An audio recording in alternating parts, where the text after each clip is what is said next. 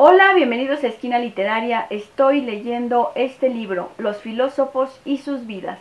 Para una historia psicológica de la filosofía, estoy leyendo la vida de Schopenhauer y esta es la segunda parte. Espero que les guste.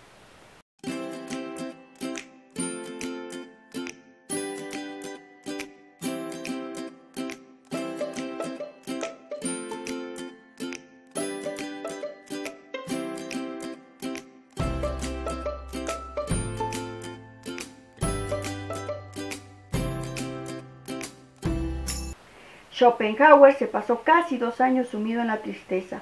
Su madre se había trasladado a Weimar, donde presidía un salón de moda frecuentado por el mismo Goethe. Enterada por él mismo de la infidelidad de su hijo, consultó con un joven instruido, el cual escribió a Schopenhauer que abandonase su trabajo y se dedicase inmediatamente al estudio del latín y del griego. Cuando Schopenhauer recibió la carta en que tal se le aconsejaba, la rompió lanzando un fuerte grito de alegría. La bendición de su madre hizo que se sintiera liberado de la promesa hecha a su padre y cumplida con placentera anticipación. Apenas tenía 19 años y grandes deseos de avanzar. Mientras Schopenhauer estaba realizando sus estudios secundarios, que había abandonado, comenzó a entrenar su pluma en la composición de versos.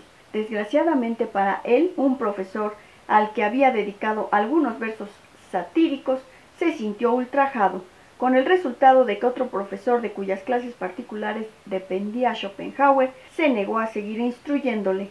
Enterada de estos problemas, la madre de Schopenhauer le escribió una larga carta admonitoria, que desde luego no contribuyó a su felicidad. Tenía que cambiar, decía, no es que fuese malo, carente de ingenio o inculto, por el contrario, Tenía todo lo que podía convertirle en una joya de la sociedad humana. Sin embargo, era insoportable vivir con él. Todas sus buenas cualidades se oscurecen y quedan inútiles para el mundo por su exceso de inteligencia, únicamente porque no puedes controlar el prurito de conocerlo todo mejor, de encontrar faltas en todas partes, salvo en ti mismo, de mejorar y ordenarlo todo. Esto exaspera a las personas que te rodean Nadie desea ser mejorado ni iluminado a la fuerza de este modo, y menos aún por un individuo de tan poca importancia como tú todavía eres. Nadie puede soportar tus reproches, y tú que tienes tantas debilidades, sobre todo de la arrogante manera en que sin sospechar la posibilidad de ninguna objeción afirmas, en tono oracular, así son las cosas. Esto le escribió la madre de Schopenhauer. Siguiendo el consejo de sus amigos, la madre de Schopenhauer sugería que ni se trasladase a ningún gymnasium en otra parte ni volviese a Weimar, sino que tomase clases privadas con un profesor de griego allí mismo. Cuando él decidió volver a Weimar, ella le escribió en otra larga carta admonitoria. No dudes de la sinceridad de mi amor por ti. Toda mi vida te he dado pruebas de él. Para mi felicidad necesito saber que tú eres feliz, pero no ser testigo de esa felicidad. Siempre te he dicho que sería muy difícil vivir contigo, y cuanto más detenidamente lo considero, más grande me parece la dificultad de ello, al menos para mí.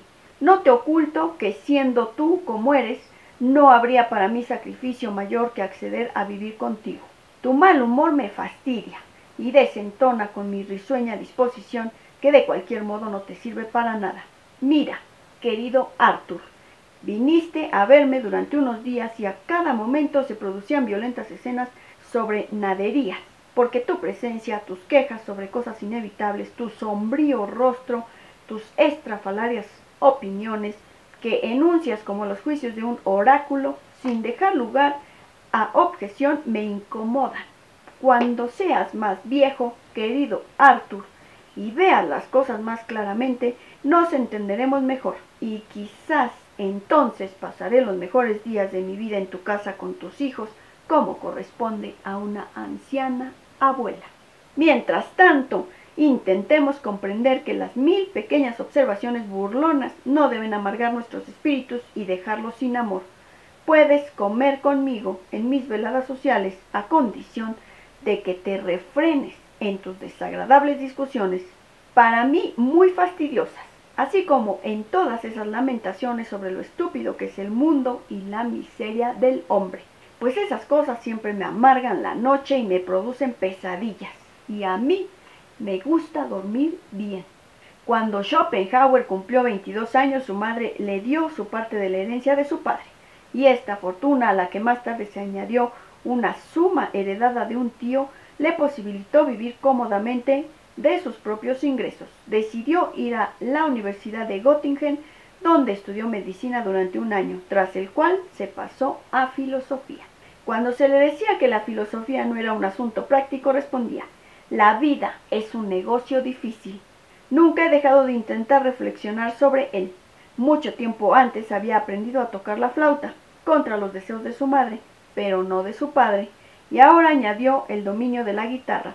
Siguiendo el consejo de su profesor de filosofía, estudió a Kant y a Platón, con particular atención.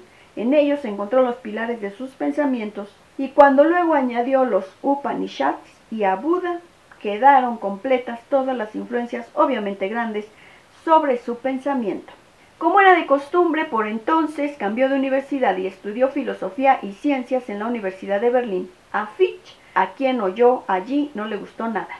La física, la filosofía, la anatomía y las demás cosas por el estilo que estudió concordaban con una vieja pasión por entender la naturaleza de la vida. Hacia 1813, cuando tenía 25 años, había escrito su tesis doctoral, La cuádruple raíz del principio de razón suficiente, con la que se doctoró. El título de la tesis llevó a su madre a preguntarle si se trataba de una obra dirigida a los farmacéuticos.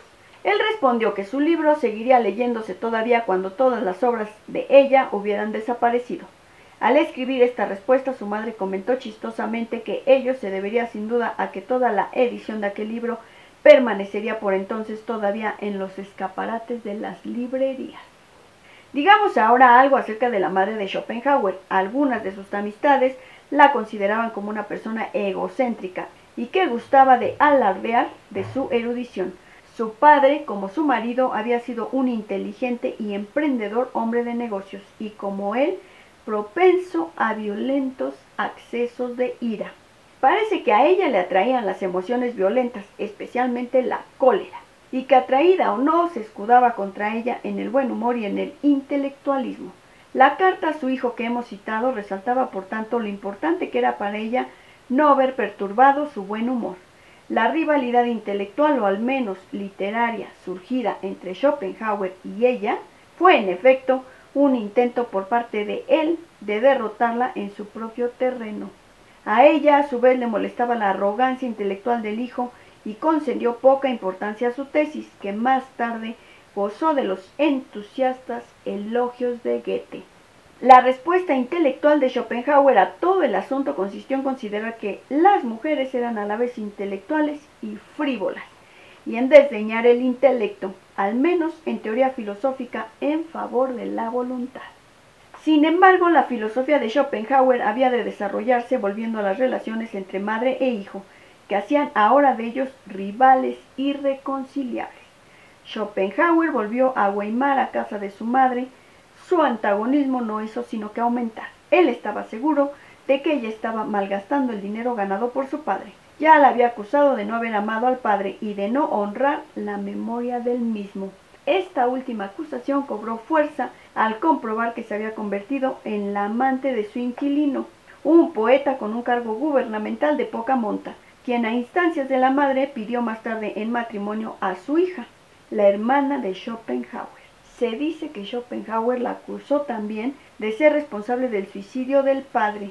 A ella debe estar refiriéndose cuando en su ensayo escribe que es estúpido permitir que una madre administre la participación de los hijos de la herencia del padre. En la mayoría de los casos despilfarrará en su amante todo lo que el padre de sus hijos ha ganado para ellos con el trabajo y el empeño de su vida. Nada importará que ella se case o no con tal hombre. Tras la muerte de su marido, la madre se convierte a menudo en madrastra. Pero en general, una mujer que no haya querido a su marido no sentirá ningún afecto por los hijos que de él haya tenido. Es decir, después de que haya pasado el amor materno, puramente instintivo y que por tanto no debe atribuirse a sus cualidades morales. Espero que les esté gustando la lectura de este libro, Los filósofos y sus vidas. Estoy leyendo la vida de Schopenhauer, esta fue la segunda parte. Si te gustó la lectura, dale like, compártela, déjame tus comentarios. Muchas gracias por escucharme y nos vemos en la tercera parte de la lectura de esta historia.